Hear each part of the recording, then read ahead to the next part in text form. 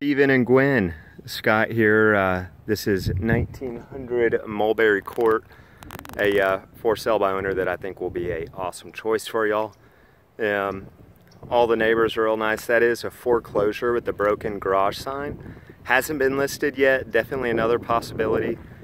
Um, but you're right here at the end of a dead end street. You're gonna have basically no traffic here. Um, so the house is a little over 1,500 square foot.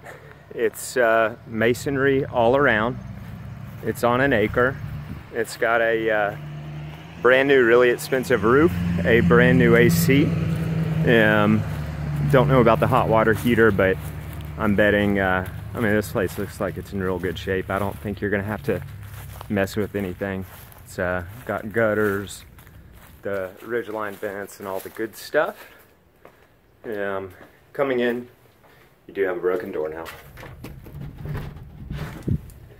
Um, it's got these, uh, it's a tile plank uh, flooring, and then that's in all the common areas. It looks really good. It was professionally installed, and uh, that stuff's real easy to clean and hard to mess up. Uh, you got a fireplace, you have, I would say probably 10 foot ceilings in here. Um, it's got a real nice open kitchen area. Uh, those are linoleum countertops, so they're in perfect shape, but uh, they would also be easy to change if you wanted. Looks like you got a few pantries here.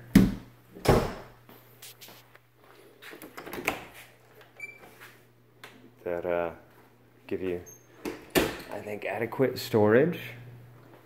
So again, from the kitchen, open living room, dining room area, uh, and then that goes right out to your backyard. Here's the master.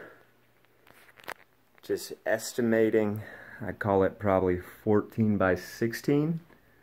Not uh, small, but not giant. It's really, I think, just what you need. Um, for reference sakes, I'm betting that's a queen size bed. Master bath. You have uh, dual vanities. Um, all the paint looks real good. There's the master closet. Um, not huge.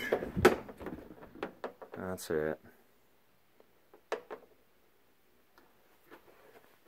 Then you have the uh, separate shower and garden-sized tub, which everybody wants.